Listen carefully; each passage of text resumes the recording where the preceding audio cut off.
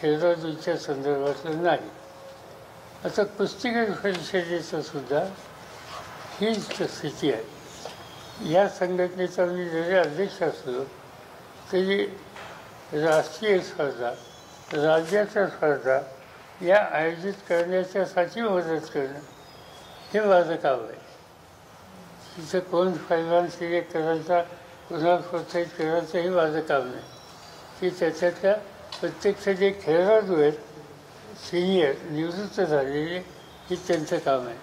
आता उदाहरणार्थ खेळाडूंना मदत करणं की जे काही खेळाडू असे असतात कुस्तीगीर खेळ की जिल्हा लेवलला चमकतात काही राज्य लेवलला चमकतात काही देश पातळीवर चमकतात. पण जो राज्य लेवल चमक चमकतो तो देश पातळीवर जायला त्याच्यात एक टॅलेंट असू शकतं. किंवा देश पातळीवर सांगतो तो आंतरराष्ट्रीय पातळीवर जाण्याची त्याच्यात गुणवत्ता असते. तर अशांना मदत करायला असते. हे सगळे खेळाडू साधारणतः सामान्य कुटुंबातले असतात. आणि म्हणून आता उदाहरणार्थ झालं. आता कुस्तीगिरांच्या बाबतीत.